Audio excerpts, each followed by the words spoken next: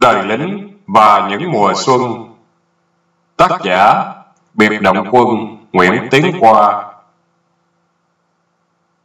Tin nhắn Phát giác một hài cốt ở Nha Trang. Quân nhân Quân lực Việt Nam Cộng Hòa, Nguyễn Vĩnh Lân. Số quân 68 Sẹt 137 969 Nếu ai là thân nhân Nhận được tin này xin liên lạc với điện thoại 6811 37969 Nico Thông Mẫn. Xin cảm ơn các bạn. Và bây giờ mình đi vào bài viết của biệt động quân Nguyễn Tiến Qua. Mười năm làm lính, chín mùa xuân thắng trận, chỉ có mùa xuân 75 thua trận Buôn Mê thuộc. Vào ngày 10 tháng 3 năm 1975, tháng 6 năm 1970, Phòng 1 Tổng quản trị của quân đoàn 2 quân khu 2 xuống tận tiểu đoàn. Lúc đó tiểu đoàn đang đóng quân tại Công Tâm để làm giấy tờ cải tuyển từ biệt kích quân may fox của Mỹ sang biệt động quân biên phòng quân lực Việt Nam Cộng Hòa. Các chức vụ được điều chỉnh theo cấp bậc như sau. Đại đội trưởng cấp bậc thiếu quý, đại đội phó cấp bậc chuẩn quý, thường vụ đại đội cấp bậc thượng sĩ, trung đội trưởng cấp bậc thượng sĩ, trung đội phó cấp bậc trung sĩ nhất, tiểu đội trưởng cấp bậc hạ sĩ nhất, tiểu đội phó cấp bậc hạ sĩ. Toàn bộ binh sĩ cấp bậc đều là binh nhất. Đại đội 1 tức là đại đội 241 về Ben Hết, tiểu đoàn 95 biệt động quân biên phòng. Đại đội 2 tức là đại đội 242 về Đắc Sang, tiểu đoàn 90 biệt động quân biên phòng. Đại đội 3 tức là đại đội 243 về Đức Lập, tiểu đoàn 96 biệt động quân biên phòng. Khi đại đội 3 về Đức Lập thì đại quý Ngô Đức Tị khóa 18 Đà Lạt làm trưởng trại, thiếu quý Tòng làm phó trại. Tất cả hai sĩ quan này thuộc gốc lực lượng đặc biệt. Trại này trước kia có ba đại đội và một trung đội trinh sát do vòng Asan làm trung đội trưởng. Đại đội 1 do Matt Crow làm đại đội trưởng, đại đội 2 do danh diễn làm đại đội trưởng, đại đội 3 do Mark Creel làm đại đội trưởng. Sau khi đại đội 243 Mayforks về thì đại đội 3 giải tán, bổ sung vào đại đội 1 và đại đội 2 của trại. Đại đội 243 Mayford vẫn giữ nguyên vì quân số đầy đủ 100 quân nhân trong bảng cấp số. Sau 3 tháng chỉnh đốn và bổ sung đã đổi tên thành tiểu đoàn 96 biệt động quân biên phòng. Tháng 10 năm 1970, Đại quý Trần Thiện Khuê khóa 18 Thủ Đức từ tiểu đoàn 11 biệt động quân ở Biển Hồ về làm tiểu đoàn phó. Đại quý Ngô Đức Tị tiểu đoàn trưởng tiểu đoàn 96 biệt động quân biên phòng. Đại đội 1 và 2 phòng thủ tại đồi Bắc. Đại đội 3 phòng thủ tại đồi Nam và kiêm nhiệm võng gác chính tại cổng chính đường vào trại. Một buổi sáng tinh sương, khói mù của núi rừng bay phản phất, Nhìn xa xa thấy mấy người lính hít thở ra toàn khói, tưởng họ hút thuốc mà cảm thấy xe lạnh trong lòng. Trung sĩ So nở là trưởng vọng gác từ cổng chính gọi điện thoại về truyền tin báo cho tôi. Báo cáo thiếu quý, ngoài cổng có một đoàn khoảng 50 người từ làng Thọ Hoàng Đức Lệ đi vô còn khoảng 20 mét. Trên mình có mang bao bì sách, túi và đặc biệt có người mang beta. Tôi à, định báo họ đứng lại, tôi cho lính tất cả xuống phòng thủ, vì tôi trút kinh nghiệm của mùa xuân năm 65 tại Bồng Sơn, người dân biểu tình. Tôi quay điện thoại lên phòng truyền tin tiểu đoàn và nói nhân viên truyền tin cấm phích vô phòng đại quý tị. Tôi nói, xin chào đại quý, năm mới chúc đại quý sức khỏe. Đại quý nói, có gì mà mi gọi sớm chưa? Tôi hạ giọng nói, Thưa đại quý, ngoài cổng chính có một đoàn người kéo từ thọ Hoàng Đức Lệ xin vào trại nên tôi báo cho đại quý biết. Đại quý tị la to. Cho họ vào đi, cứ mỗi năm ngày mùng một Tết là họ vào thăm trại chúc Tết, mi không biết gì cả. À, xin lỗi đại quý, đại quý không báo trước, tôi tưởng họ biểu tình.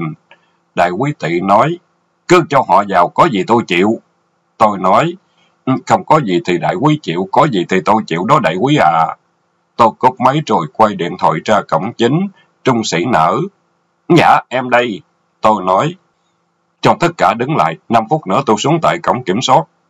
Từ đồi Nam ra cổng khoảng 800 mét, Tôi đến nơi thấy một ông cha bận đồ đen đứng đầu, theo sau là giáo dân già trẻ trai gái khoảng 50 người thành một hàng dài. Tôi chào cha, chúc sức khỏe và xin lỗi cha vì không được tiểu đoàn thông báo trước, nên sự tiếp đón không được hài lòng đối với cha và giáo dân. Ông cha nói, Tôi à, có nghe lính trại nói có đại đội Mayford từ quân khu 2 về ghê lắm. Tôi hỏi, ừ, ghê là sao thưa cha? Cha nói, ha, nguyên tắc từ quần áo ăn mặc như lính gác tòa tỉnh. Ông cười và nói câu an ủi, vậy à, mới là lính quân lực Việt Nam Cộng Hòa chứ. Còn lính ở đây lèo phè, đeo khẩu súng M16 chân mang dép Lào, tay cầm điếu thuốc Lào hút kêu trích trích như tiếng tu quýt của cảnh sát công lộ. Tôi chọc thêm, À, vì vậy, năm 69 Việt Cộng mới trà trộn vào đánh trại đó. Chính đại đội này đến giải vây đầu Nam. Lúc đó Trung quý Phan Bắc Giác làm trưởng trại Đức Lập. Tôi ra lệnh cho một quân nhân mang súng đi đầu dẫn đoàn người vào tận trụ sở tiểu đoàn. Một quân nhân đi cuối vào tôi.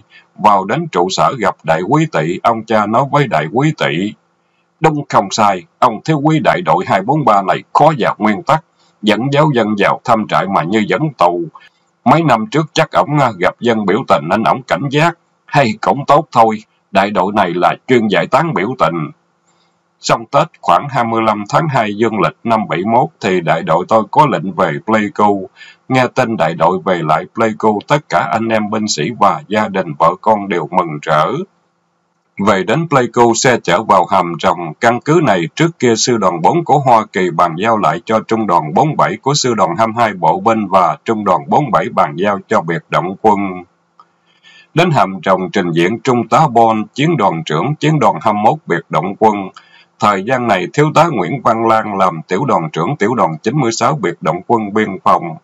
Một tuần sau thì đại đội 1, 2 và trinh sát tiểu đoàn 96 cũng về hầm trồng hết trại Đức Lập giao lại cho địa phương quân.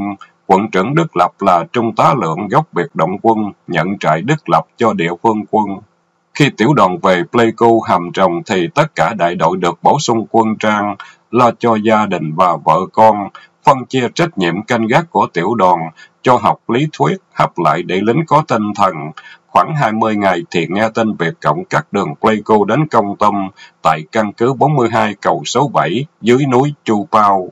Thiếu tá Lan tiểu đoàn trưởng ra lệnh cấm trại 100%, chuẩn bị hành quân, lúc đó là mùa xuân năm 1971.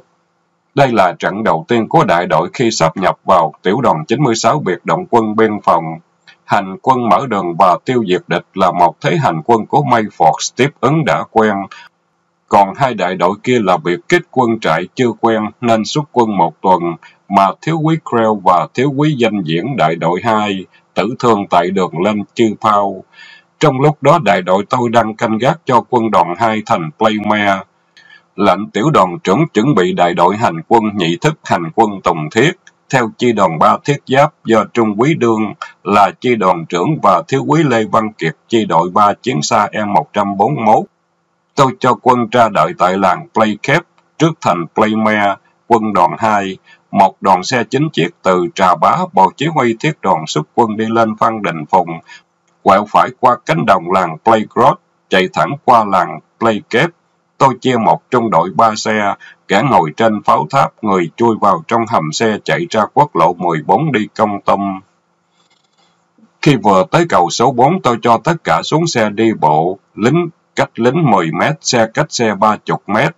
Trong lệnh hành quân thì trên đoạn đường di chuyển từ cầu số 5 lên số 6 rừng tranh thường có việc Cộng phục kích. Tuần trước việc Cộng phục kích đoàn xe bắn cháy một GMC, còn hiện tại thì có đại đội 2, tiểu đoàn 96 biệt động quân mở đường đến cầu số 4. Tôi cho chuyển quân qua cầu số 5. Thiết vận xa vượt qua cầu số 6 lên chừng một cây số, bên tay phải thì gặp căn cứ 42, thường gọi là đồi cát trắng, vào gặp tiểu đoàn trưởng Nguyễn Văn Lan, bộ chỉ huy tiểu đoàn và trung đội trưởng trinh sát danh dương. Xong công nước là đúng 12 giờ trưa tại căn cứ 42, đúng 1 giờ xuất quân, lãnh thiết đoàn để lại 6 chiếc tại căn cứ, còn 3 chiếc thuộc chi đội 3 chiến xa M141, tăng thêm một chiếc M113, vì M113 có đại liên 50 lợi hại, có đầu đạn xuyên phá, được trung đội trinh sát dinh dương dẫn đầu, biết nơi nào có hầm biệt Cộng, nên M113 bắn phủ đầu. M141 bắn trực xạ, tiếng nổ liên tục, chỉ một tiếng đồng hồ đại đội 3, tiểu đoàn 96 chiếm cầu số 7. Tôi trơ lệnh tất cả các trung đội 1, 2 và 3 bung ra những vị trí mà lúc nãy thiết vận xa trực xạ. Máy gọi liên tục. 36 đây, 1.3 gọi tịch thu một phòng không 12 ly 7, 2B40, 1B41, một máy truyền tin, 2 AK. 36 đây, 2.3 gọi, chết 5 thằng Việt Cộng thu 4 AK. 36, đây 3.3 gọi, thu 2 B40, 2 AK và đạn B40. Trời, đại đội xuất quân chỉ trong 6 tiếng đồng hồ từ làng Playcap mà thu tổng cộng 1 phòng không 12 ly 7, 8 AK-47, 4B40 và 2B41. Sơ khởi tịch thu vì hầm Việt Cộng, M141 bắn sập có thể súng và người còn lắp lại cô quẹo cầu số 7 dưới chân núi Chư Phao. Trong lúc đang vui mừng với thiếu tá Lan tiểu đoàn trưởng thì một tiếng nổ ồm biệt Cộng bắn từ trong khe đá núi Chư Phao, một trái 57 2DKZ gì đó, một mảnh nhỏ trúng ngay lưng tôi nóng hổi. Tôi lấy tay rờ đầu máy, thiếu tá Lan gọi y tá băng bó. Y tá nói rất may không trúng vào xương sống, cách xương sống 1cm, ghim vào giường để tôi gấp ra luôn. Thiếu tá Lan nói nhân tiện xe tiểu đoàn tiếp tế tại căn cứ 42, cho người khiêng tôi về đó để xe chở vào quân y viện Pleiku luôn. Tôi bị thương, lúc đó thiếu tá đạt quyền đại đội trưởng nhưng ông này nhát nên thiếu tá Lan nói tất cả đại đội 3 trở về phòng thủ tại căn cứ 42 thay cho đại đội 2. Tất cả chiến lợi phẩm thu được đem về căn cứ. Ngày mai quân đoàn lên đem về quân khu.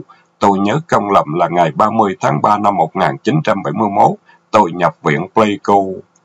Tôi có thằng đệ tử nói đúng hơn là anh vì ông ấy lớn tuổi hơn tôi tên Lê Văn Bá, được thiếu tá Lan cho về bệnh viện lo cho tôi, vì vợ con tôi ở Quy Nhơn. Anh Bá kể, hôm qua đại đội mình thu súng đem về căn cứ 42 đồi cát trắng, khoảng 9 giờ sáng ngày 31 tháng 3 năm 71, Đại tá Nguyễn Văn Đương chỉ huy trưởng biệt động quân của quân khu 2, đáp máy bay tại căn cứ 42 đồi cát trắng.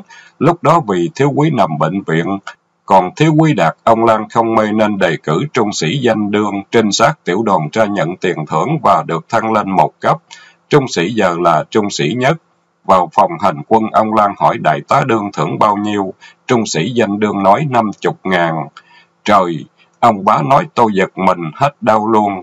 Tôi nói trong cái may lại có cái xui, xui bị thương không được nhận tiền. Tôi nói, Thôi, đàn em nhận cũng được, vì hôm đó trung đội trinh sát tiểu đoàn hy sinh ba người, hạ sĩ quan là thượng sĩ dòng A Sàn, trung đội trưởng, trung sĩ Giang Si Phan, tiểu đội trưởng và trung sĩ Nguyễn Văn Liêm, tiểu đội trưởng. Hai sĩ quan là Creel và Diễn. Số tiền 50.000 đó trung sĩ đương nhận về hương khói cho năm người đó cũng được. Hồi đại hội biệt động quân ở Houston có đại tá đương đến dự, tôi định hỏi đại tá năm đó có tặng thưởng cho danh đương 50 ngàn tại căn cứ 42 không? Nhưng khi chào cờ thì đại tá bị xỉu xe chở đi cấp cứu. Tôi hy vọng kỳ đại hội này tại Dallas tôi có gặp đại tá hỏi thử có đúng là tháng 3 năm 71, đại tá đã tặng 50 ngàn cho trung sĩ danh đương không? Kỳ sau tôi sẽ kể chiến thắng công tâm năm 72 thuộc chi đoàn 3 của Trung Quý Lương dùng xe tăng băng qua trung đoàn 95B của Việt Cộng trên đường về Tân Phú. Tôi tịch thu một K54 đem về tặng cho đại quý Ý, bác sĩ đại đội 2 quân y, biệt động quân quân đoàn 2 quân khu 2, ngày 19 tháng 6 năm 72.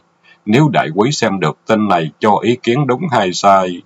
Có nhận của thiếu quý qua khẩu súng K54 không? Tôi sẽ kể trận phản phục kích với căn cứ 92 Lệ Trung, giết bốn tên Việt Cộng, thu 2 AK-47, 2B-40.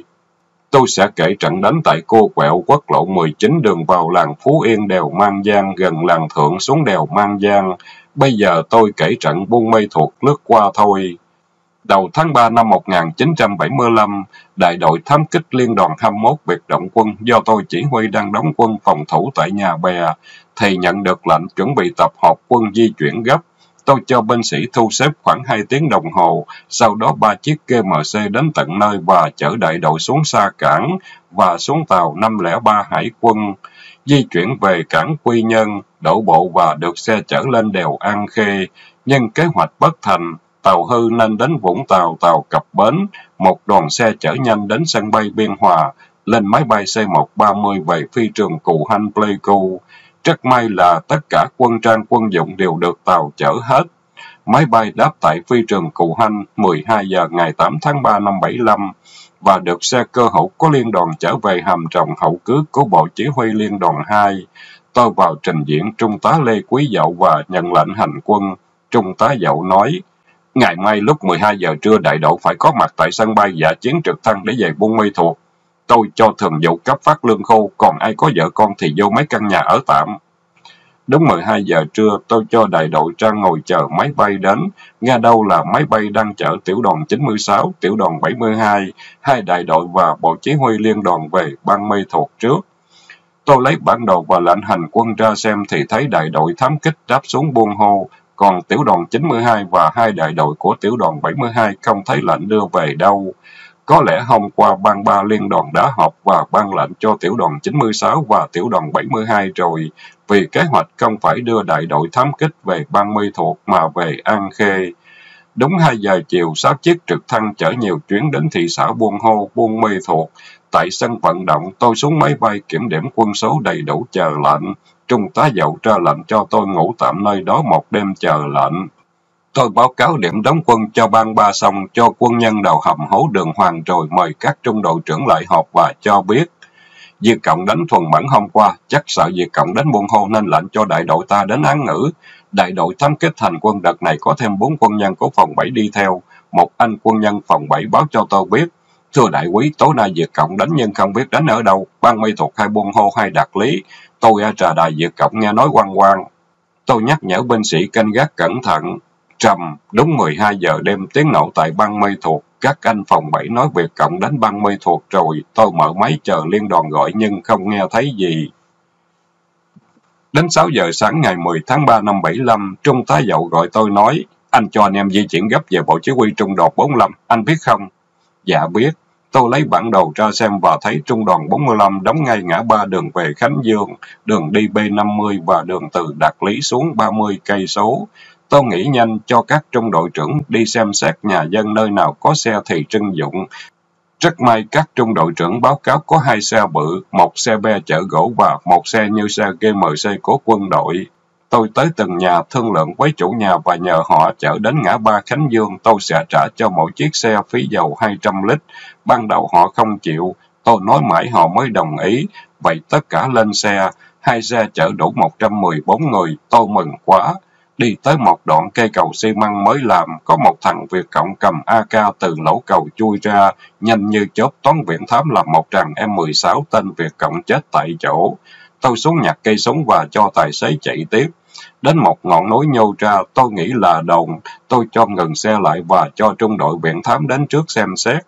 Viện thám báo đây là tiền đồn của địa phương quân, có kẽm gai chung quanh, có dấu giày mới toanh và đồ ăn chơi rớt. Tôi nghĩ chắc tiểu đoàn 96 và bộ chỉ huy lữ đoàn cùng tiểu đoàn 72 nghỉ đêm qua. Tôi cho xe chạy tiếp tới làng Đạt Lý, chạy nữa, quyển thám báo gần tới trung đoàn 45. Tôi ra lệnh cách 500 mét tới trung đoàn anh em xuống xe súng đạn với tư thế tấn công vì đêm rồi Việt Cộng đánh băng mê thuộc, không lẽ trung đoàn 45 không có Việt Cộng.